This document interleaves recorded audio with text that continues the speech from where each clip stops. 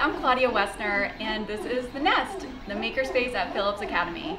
So what we have here is lots of really cool technology, including 3D printing, laser cutting, and even some sewing machines. So one of the things that we pride ourselves in at The Nest is design thinking. And design thinking is an iterative approach to innovation.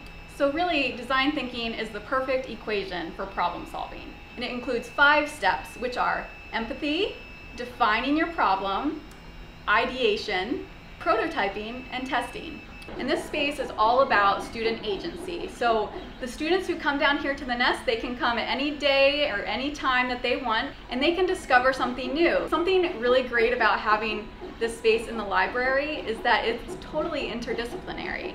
So a student might be in here working on an art project, and they'll meet up with their friend working on a physics project and they will cross paths and come up with something totally incredible together. Seeing what they're creating and making in this space, it just takes it to a whole other level. For a minute and over, I'm Claudia Wessner.